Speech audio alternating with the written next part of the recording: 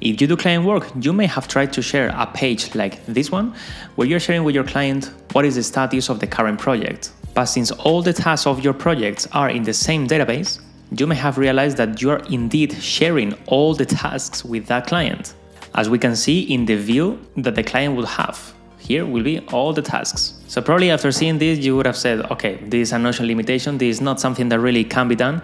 So I'm just gonna use email to tell my client what's going on.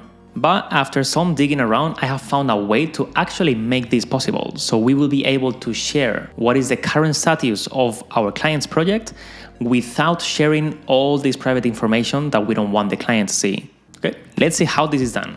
So for this, the easiest setup to have is to have two databases, one with the client projects and another one with the tasks related to those projects.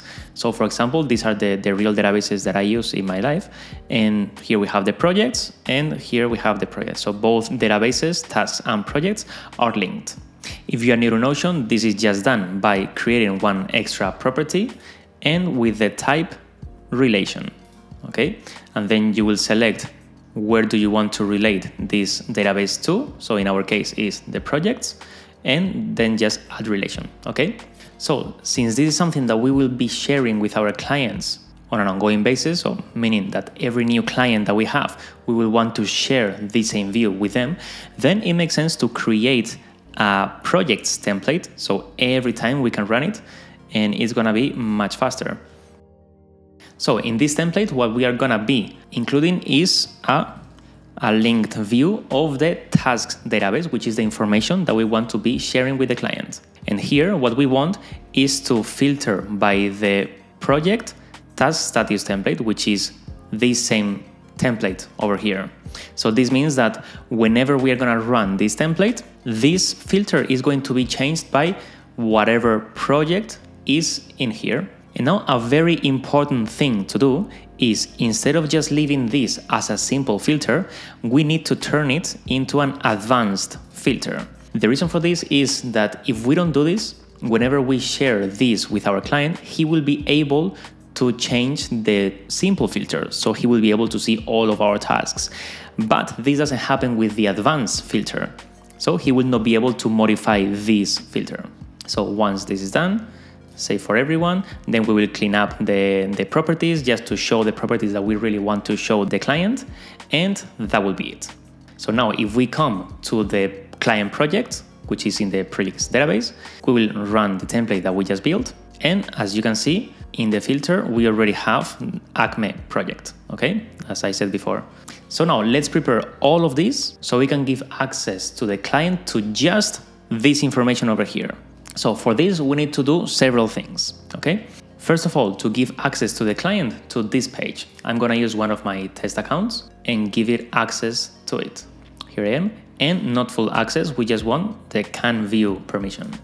So right now, having shared this with the client, this is the view that the client will have. But here the problem will be is that the client can click here and see all my tasks. Okay, so so far this is not what we want. But what we have already achieved is that he's not able to filter this view. He's just able to add a filter over my filter. And since this filter is already just showing the tasks that are related to this project, then he will just be able to filter within his own tasks. So then how can we fix that the client doesn't have access to all of our tasks? So this has a very easy fix. This is from my from my own account, not the test one. So I will go to the tasks database and what I'm going to do is since from the client side what he can see is the core database and this view over here, the all open um, view, so here I have the all open view, which is in my backend, that if you've been following my videos, you know that I like to put all my databases in one and only place and then use linked databases throughout my workspace. So the only thing that I have to do here is to create a filter that hides everything over here. So, so far I have the filter that done is unchecked. So I'm going to add that done is checked. So of course this is not matched in any of my rows. So this view is empty. So now, if we go back to the client side, we can see that this view is indeed empty. and that I cannot really change the, the filter. I can just filter within this that I'm seeing. There is nothing I can do. There is no no filter that I can that I can use. So now the only thing that I would add is to go back to my account to the Acme project page and I will just hide the database title. And here maybe I will just rename it to to the name of the project. So from the client side, everything is much more visual.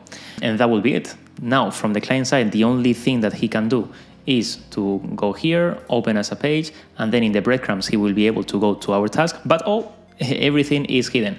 So there is actually no way that I have found that the client can actually see all our data.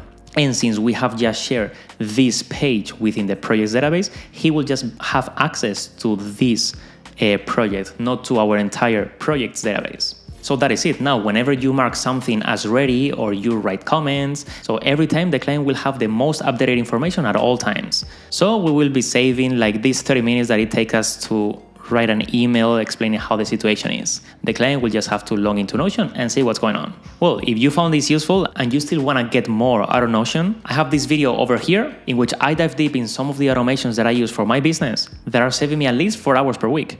So you may as well check it out. So that is it for today, guys, and as always, hasta la próxima.